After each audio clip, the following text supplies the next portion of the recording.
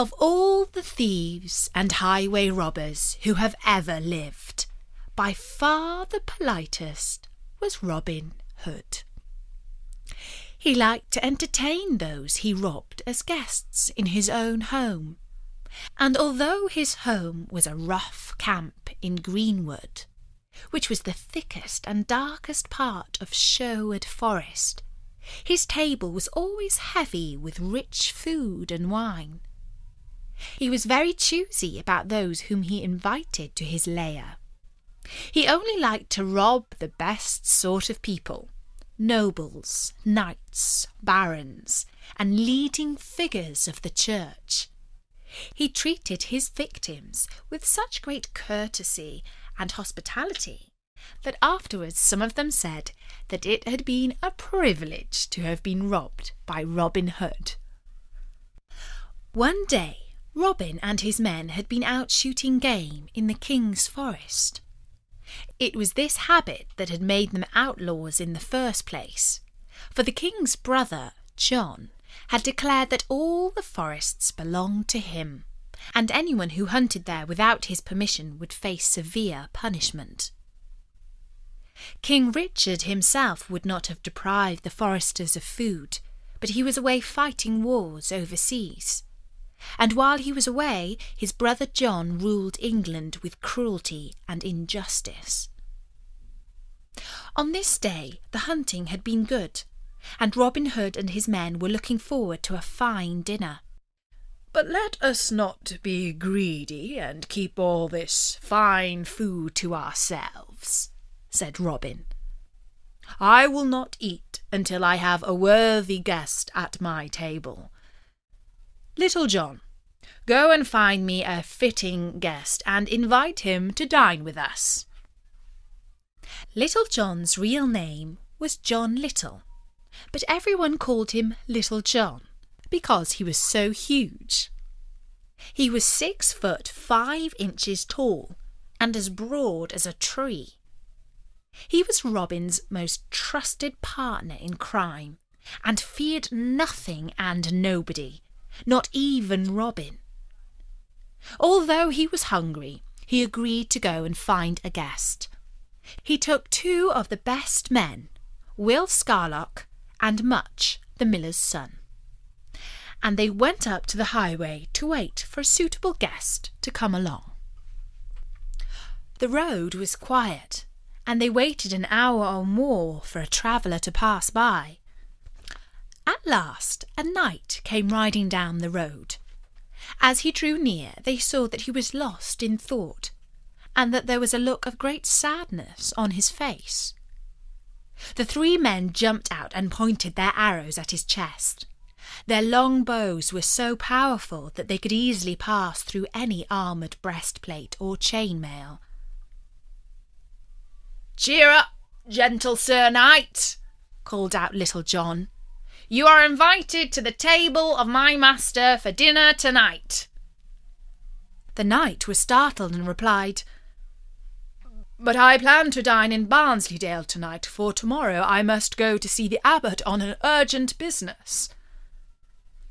"'Tis a pity, said Little John, still aiming his arrow at the knight's chest. For my master will take great offence should you refuse his kind invitation. And who might your master be? asked the knight. His name should be known to all who pass by Sherwood Forest, for it is Robin Hood. Hmm. In that case I shall come, said the knight, for I have heard much about him. Will Scarlock placed a blindfold over the knight's eyes, and they led him through the forest to the hideaway. Robin greeted the knight with great courtesy. Welcome to Greenwood, gentle Sir Knight. All ours is yours. They washed their hands together in the stream, and then they dined on pheasant, trout, cuts of venison, and barley bread, and swilled it down with plenty of red wine. I have not eaten such a dinner in these last three months, declared the knight. And if you visit my castle, I shall make you a fine feast in return. Ah, said Robin. I would much prefer, kind sir, that you paid before you leave, for it is the custom in Greenwood that a peasant's son such as I should not pay for a knight. The sad expression returned to the knight's face. Hm, I have but ten shillings, he said. Robin had not entertained such a poor guest at his table before. If what you say is true, he said, I will not take one penny off you. Indeed, I shall lend you money from my own coffers and he sent Little John to look through the knight's belongings. When he checked them, he said, Our gentle knight is indeed a pauper. How come so poor? asked Robin. And the sad knight told his story. He had a son who was a fine, strong, but hot tempered young man. He liked to joust and in a contest he had killed the son of a baron. The baron demanded blood money of four hundred pounds, and if it was not paid, the knight's son would be put on trial for murder and executed. In those days, four hundred pounds was a great deal of money, and although the knight had a steady income from his lands, he did not have such a sum ready to give. He was forced to borrow from a wealthy churchman the abbot of the monastery of St. Mary. The abbot gave the knight just three months to repay the loan, and if he failed to pay back the money in that time, the knight must give the abbot all his land instead. The time of the loan was almost up, and the knight was travelling to the abbot to plead for more time to pay. But the abbot did not become rich by showing mercy, said the knight. And therefore I fully expect that by tomorrow evening I will be a landless pauper. I plan to take a ship and join King Richard, who is fighting in the Holy Lands. Too many good knights are overseas, said Robin, which is why there is much injustice at home. No, by St. Mary, who is dear to me, I shall make you a loan of four hundred pounds, and you shall repay the abbot. The next day, at the monastery of St. Mary, a monk spoke to the abbot. Your worshipful grace, today the knight must repay his loan or forfeit his lands. He will surely forfeit, replied the abbot for I do not think he will find four hundred pounds in so short a time. When the knight and Little John arrived outside the monastery, the porter at the gate said, That surely is the shabbiest and saddest looking knight that ever I did see. Inside the main hall, the knight knelt down before the abbot. The abbot did not greet him, but said straight out, Where have you brought me my money? Not one penny, replied the knight. The monk said, Then why did you come to waste his grace's time like this? Your lands are lost. Go away. I came, said the knight, to ask for mercy and more time to pay. You shall not have one minute more, replied the abbot. Your lands are mine. Be off. If you give me more time, I shall serve you faithfully, said the knight. Show mercy, for it is good to help one who is in need. At this, the abbot swore a great oath and roundly cursed him. Out, false knight! Speed Out of my hall! he shouted. I am no false knight, replied the debtor, and with that he opened his bag and emptied out the gold onto the floor.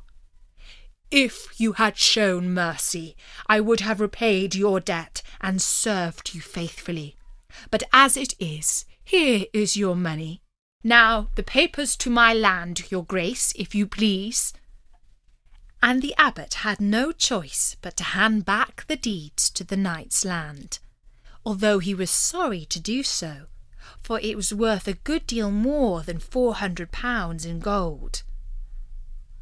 Two days later, the knight returned to his castle, wearing his sad expression. Are we paupers? asked his wife. No, said he, brightening up. We are saved, and God bless Robin Hood.